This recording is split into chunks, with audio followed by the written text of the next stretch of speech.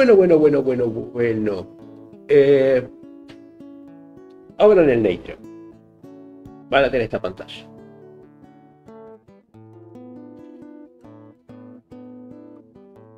Los nodos, recuerden que son esos cumplidores de funciones.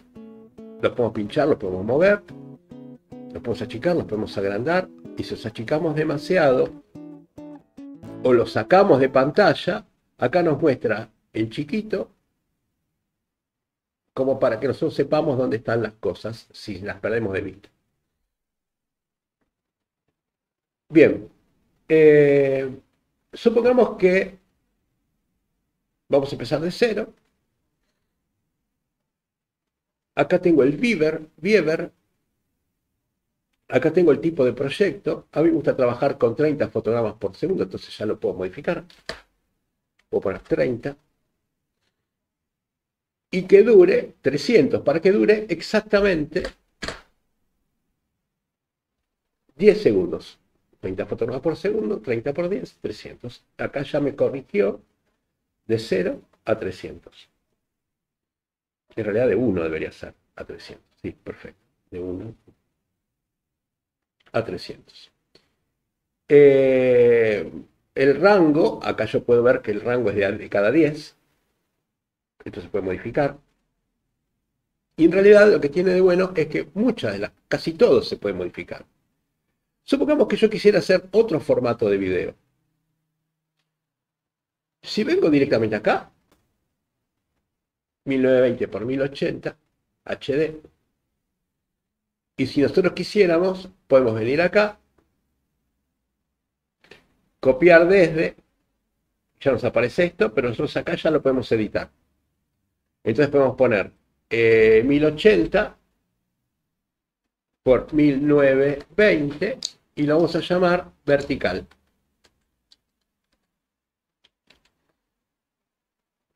Y le damos OK. Cuando nosotros venimos acá, nos va a aparecer un vertical 1080 por 1920. ¿Lo elegimos? Miren qué bonito. Bien, vamos, volvamos a donde estábamos. Los nodos cumplen funciones. Vamos a una función muy simple. Si yo tengo seleccionado el viewer, vengo acá arriba y tengo un grupo de nodos, el grupo se llama imagen, image, image, y, me, yo puedo tener una barras de colores, el, el cosa de ajedrez, un color constante. Ahora vamos a ver qué es un read y qué es un write. Pero vamos a poner una cosa fija, que puede ser un constante.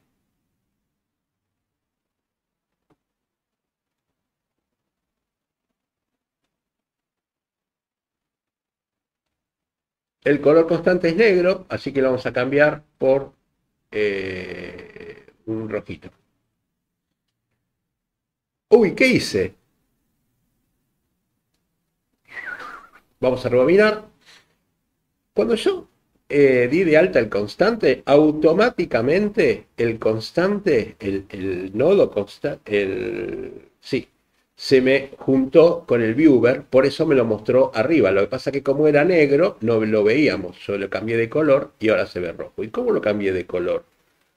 Pues lo cambié de color. Primero cliqueamos constante y acá arriba nos va a aparecer este nodo que inclusive si queremos le podemos cambiar el nombre, le podemos poner rojo.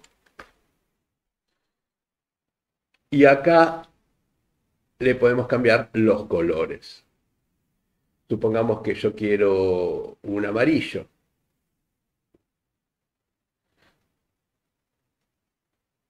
Tendría que cambiar el nombre, ¿no? Amarillo. Y ya está. Entonces, Este nodo lo que hace es me muestra un color de fondo. Y este lo muestra en la pantalla. Supongamos que yo tengo, quiero otro constante. Eh, automáticamente me lo conectó en el canal 2 y me lo conectó de color negro. A este sí vamos a ponerle rojito.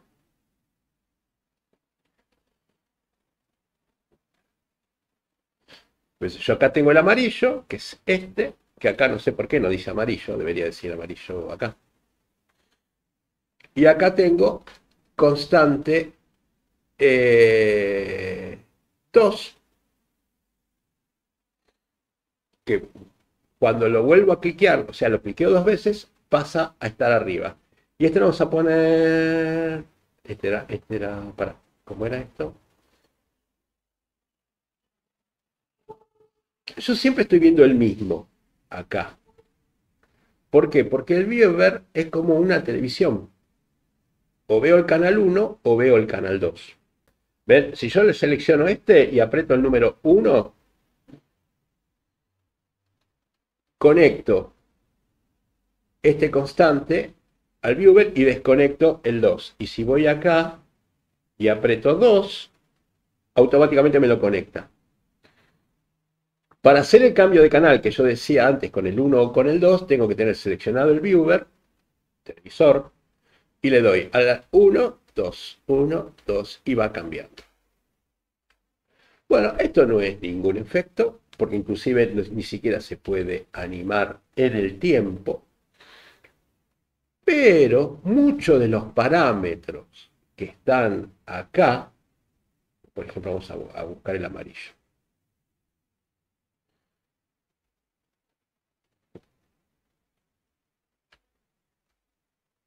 Ahí estamos en amarillo. Muchos de los parámetros que están acá son animables. Por ejemplo, el color. ¿Y cómo animo yo? Qué buena pregunta.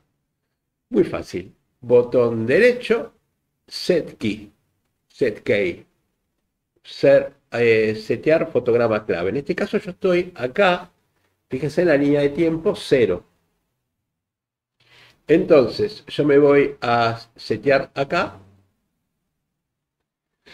Y ahora me voy al último fotograma y voy a setear de nuevo la llave. Entonces no se va a mover porque están con los mismos parámetros. Pero ¿qué pasa si yo acá en el medio, 150 más o menos, le cambio el color. Entonces vengo acá y le digo, vas a hacer azul.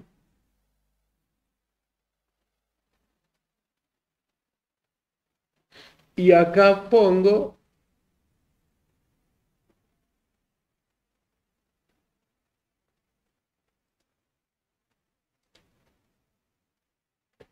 Nada, porque automáticamente, si ustedes se fijan, ya me puso el fotograma clave. Ahora, ven que se ve la cosita celeste, me vengo acá y pongamos que le pongo violeta. Es decir, ya el sistema detectó que yo ya estoy animando. Entonces, donde yo deje el cursor me lo, pondrá directamente. Y acá vamos a poner, ¿ven que queda acá? Un azul. O no sé, un verde.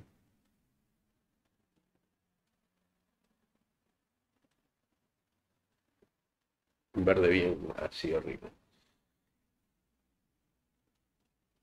Si yo,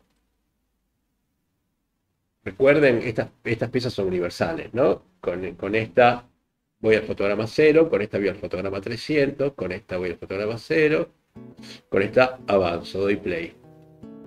¿Ven cómo va? Ahí ya ahí hice una animación.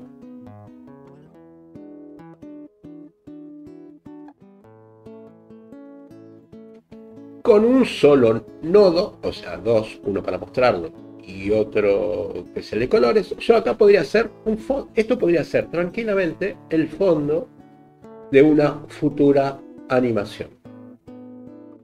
¿Cómo seguimos? En el próximo capítulo